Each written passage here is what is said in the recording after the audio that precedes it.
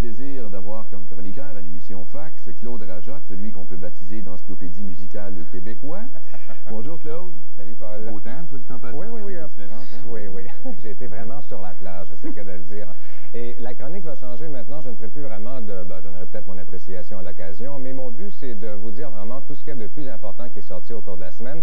Ce soir, on est un petit peu pressé, mais à compter des autres semaines, j'aurai 10 items, donc soit des micro-sillons ou des maxi 45 tours. Et pour commencer, j'ai le nouveau maxi 45 du groupe de Cult qui s'appelle Firewoman. Peut-être que vous attendiez le nouvel album qui s'appelle Sonic Temple, qui devrait être en magasin au cours des prochaines semaines. Sur le 12 pouces, on retrouve deux remixes de la chanson qui sont fort intéressants. Il y a aussi euh, la chanson, comment ça s'appelle? Automatic Blues. Et Ian Asbury du groupe, d'ailleurs, il y a eu un article dans le Melody Maker ici qu'on peut voir. Ça, c'est le groupe euh, de Cult, bien sûr. Ian Asbury a souffert d'une dépression nerveuse, des problèmes d'alcoolisme également. Il s'est fait arrêter par la police, mais en fin de compte, il s'en est sorti et ils sont ensemble. Et si vous êtes un gros maniaque du groupe de Cult, vous pouvez vous procurer un genre de maxi 45 tours, édition limitée. Il y en a à peu près juste 5000 en magasin. Le premier 12 pouces va là, le deuxième là et le troisième là, mais les deux autres sortiront au cours des prochaines semaines. Et c'est dans le style très rock comme on connaît du groupe de Cult. C'est beaucoup moins raffiné que leur album Love, par exemple, Mhm. qui n'aimait pas vraiment de toute façon.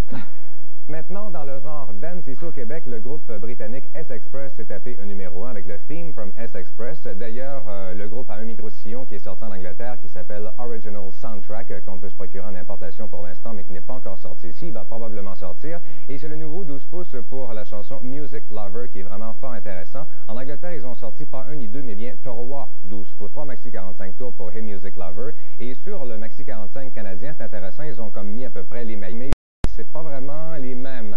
Et si vous êtes un vrai maniaque de la chanson, je vous conseille le Maxi 45 tours en importation qui est Special Expansion. C'est vraiment très bon, c'est du bon dance, c'est ce qu'il y a de plus intéressant dans le genre Acid House à peu près. Et également, il y a Julian Lennon qui nous a sorti un nouveau micro-sillon qui s'appelle Mr. Jordan. C'est un micro-sillon beaucoup moins pépère que ses deux premiers parce que pour, pour son âge, je trouve qu'il manquait un peu d'audace Ouais, quand même.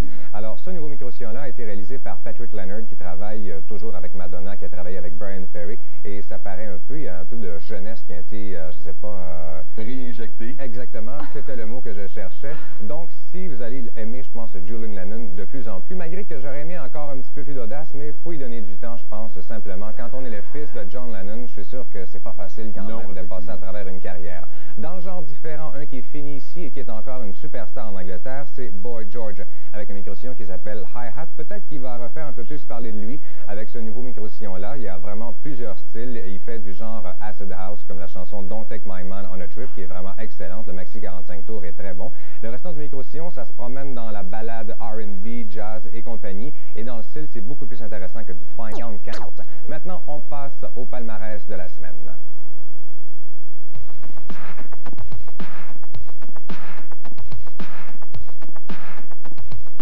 Au Québec, selon le Radioactivité, en cinquième position, René Nathalie Simard. En quatrième, Joe Bocan. En troisième, Daniel Odera, L'amour tendre. En deuxième, Jerry Boulet, Rendez-vous doux. Et au numéro un, Fichu, Chemin des incendies.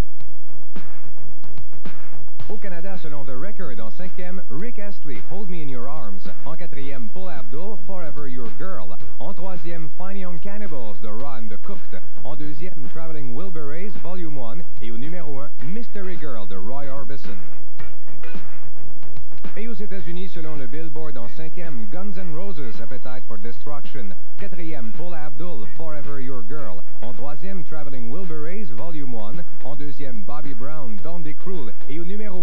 Electric Youth de Debbie Gibson.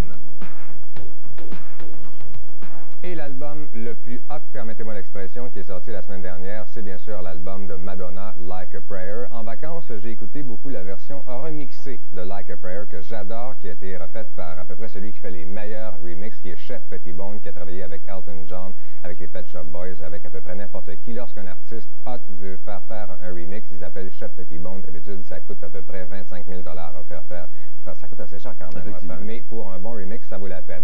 Moi, je suis pas vraiment le fan numéro un de Madonna. Je vous avoue que le restant de l'album me laisse un peu, euh, mais je pense que ça va quand même euh, être très très populaire. Moi, c'est pas vraiment mon style de musique, mais je l'admire parce que c'est une artiste complète, Madonna. Elle fait du théâtre, elle fait du cinéma, elle fait des clips et, et elle fait de la musique. Donc, c'est l'album à se procurer cette semaine. Est-ce que le matériel est un peu plus mature sur cet album-là que les précédents? C'est moins Oui, bonbon ça un peu évolue, musique? ça évolue tranquillement pour Madonna. Et c'est déjà tout pour cette semaine en ce qui concerne à la plage. Printemps et c'est le temps d'enlever les battes.